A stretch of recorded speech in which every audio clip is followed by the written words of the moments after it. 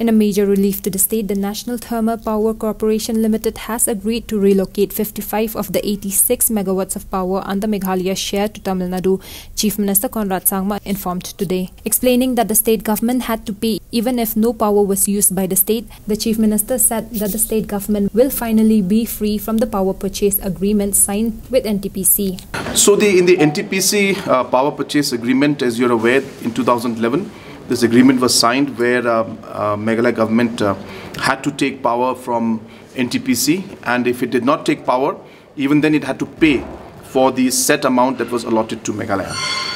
We are very fortunate that after a lot of hard work and even some court cases,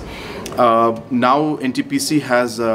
uh, agreed and they are working towards reallocating the power to different states. Uh, so approximately 56 megawatts has been allotted to Tamil Nadu of the share of 86 that was total for Meghalaya, which means almost about 70% now Meghalaya government doesn't have to pay for it anymore. So now we are hopeful that very soon the rest of the 25, 30 megawatts that's left, even that will be uh, you know, given to other states. And uh, with that, we will be completely free of this agreement that was signed uh, many, many years back, because of which uh, more than 300 to 400 crores Meghalaya government had to pay for not uh, having used even a single unit of power.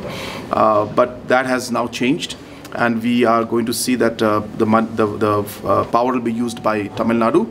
and this agreement I think is already signed or will be signed in a few days,